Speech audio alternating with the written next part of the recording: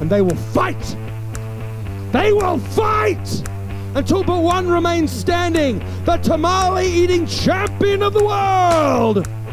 Right here in this sanctum sanctorum of salivation, this Mount Sinai of mastication, this Colosseum of competitive eating. So it is written, so it shall be. Let the contest begin!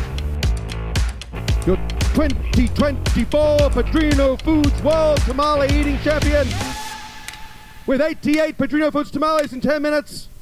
And five-time winner of this event, it's the great Geoffrey Esper. Hi, my name is Geoffrey Esper. I'm from Oxford, Massachusetts, and I just ate oh, 88 tamales to win the 2024 Tamale Eating Championship. And I don't feel good. so, but I'm excited and I'm happy. And uh, it was a good contest. The tamales were delicious. Just 88's a lot to eat all at once.